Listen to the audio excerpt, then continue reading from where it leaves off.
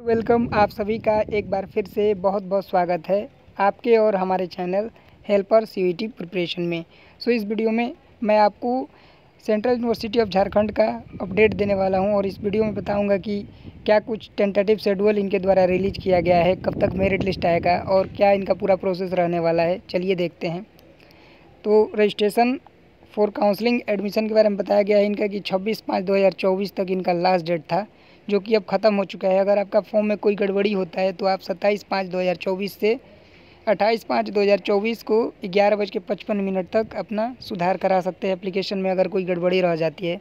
और उसके बाद छः तारीख को, यानी कि छः छः दो हज़ार चौबीस को छः जून को इनका रजिस्टर्ड कैंडिडेट लिस्ट पब्लिश किया जाएगा। लिखा हुआ है कि publication of registered candidate list for counselling admission तो जो लोग भी यहाँ पे छब्बीस पाँच दो हज़ार चौबीस तक रजिस्ट्रेशन किए होंगे। उनका रजिस्टर्ड कैंडिडेट लिस्ट छः छः दो हज़ार चौबीस को प्रकाशित किया जाएगा, यानी कि पब्लिश किया जाएगा इनके ऑफिशियल वेबसाइट पे। और उसके बाद डॉक्यूमेंट वेरिफिकेशन का भी एक डेट दिया गया है, बैचलर ऑफ़ एजुकेशन का।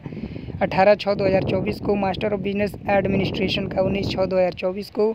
और अलग अलग विषय का आप सभी देख सकते हैं स्क्रीन पर जिस भी डेट को यहाँ पे वेरिफिकेशन के लिए आपको बुलाया जाएगा, जो भी कोर्स आप सेलेक्ट किए होंगे, जैसे मान लीजिए कि जियोलॉजी या इंग्लिश अगर आपने सेलेक्ट किया होगा तो उस डेट को आपको जाके डॉक्यूमेंट अपना वेरिफिकेशन कराना होगा। डॉक्यूमेंट वेरिफिकेशन नहीं कराएँगे तो आपको एडमिशन का मौका नहीं मिलेगा।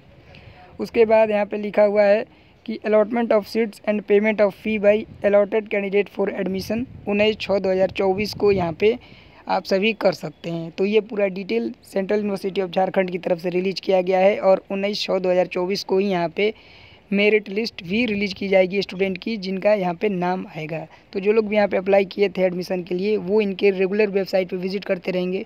और जिस भी डेट को यहाँ पे डॉक्यूमेंट वेरिफिकेशन के लिए आपको बुलाया गया है, उस डेट को आपको जा करके डॉक्यूमेंट वेरिफिकेशन अपना कराना होगा। डॉक्यूमेंट वेरिफिकेशन नहीं कराते हैं तो आपका वेरिफिकेशन कैंसिल कर दिया जाएगा।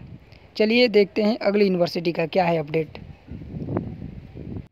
अगला जो अपडेट है, वो है बनारस हिंदू यूनिवर्सिटी की तरफ़ से। यहाँ पे बताया जा रहा है कि registered for registration for the PG programme of the Banaras Hindu university C A P दो हज़ार चौबीस is extended till third June दो हज़ार चौबीस। तो जो लोग भी बनारस हिंदू यूनिवर्सिटी में रजिस्ट्रेशन कराना चाहते हैं और अभी तक नहीं कराए हैं, वे रजिस्ट्रेशन अब तीन जून तक करा सकते हैं। और अगर आपका फॉर्म में कोई गड़बड़ी रह जाता है तो पाँच और छः जून को आप सुधार भी करा सकते हैं। उसके बाद इनका जो है फ़र्स्ट मेरिट लिस्ट वेबसाइट पे पब्लिश किया जाएगा। तो अगर आप अभी तक रजिस्ट्रेशन नहीं किए हैं तो वेबसाइट पे जाके रजिस्ट्रेशन कर लीजिए। सी जी का अपडेट जो है कि उनका भी जल्दी ही आपका फ़र्स्ट सिलेक्शन लिस्ट रिलीज़ होने वाला है। सेंट्रल यूनिवर्सिटी ऑफ़ अगर हम राजस्थान की बात करें तो इनका भी फ़र्स्ट मेरिट लिस्ट जल्दी ही रिलीज़ किए जाने वाला है। जैसे ही कोई अपडेट आता है, मैं आपको अपडेट कर दूँगा। चलिए इस वीडियो को यहीं पे एंड किया जाता है। सी से रिलेटेड किसी भी प्रकार का अपडेट के लिए मेरे चैनल को आप सब्सक्राइब कर लीजिए। इस वीडियो में बस इतना ही। Thank you for watching this video have a nice day